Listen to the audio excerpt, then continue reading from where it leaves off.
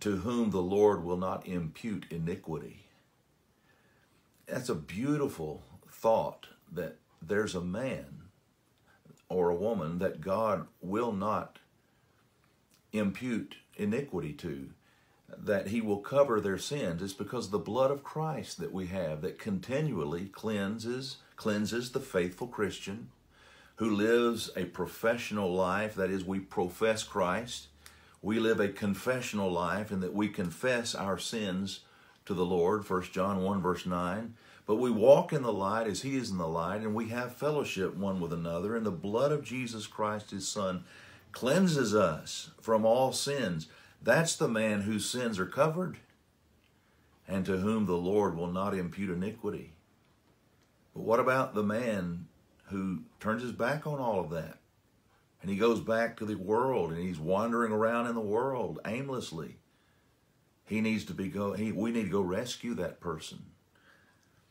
And this person doesn't have their sins covered. Maybe at one time they were covered when they were walking in the light, but now they've gone back to darkness, loving darkness rather than light because their deeds are evil. And what they need to do is repent of those sins, confess those sins to the Lord, and pray that perhaps the thought of their heart might be forgiven. And the Lord will abundantly pardon and restore such a one.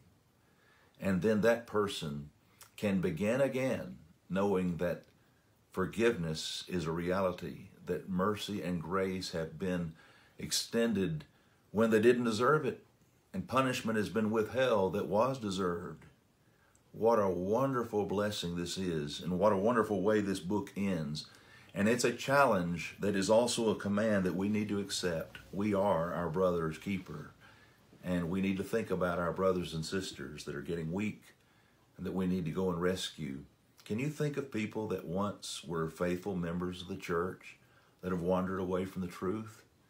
We need to call their names in prayer and we need to call them on the phone and we need to go see them and we need to convert them through the power of Christ and His gospel back to the Lord so that they can be saved from their sins and that their multitudinous sin, that's a big word, but all those sins that could be committed or have been committed, they, they can be covered so that this person is in a right relationship with the Lord.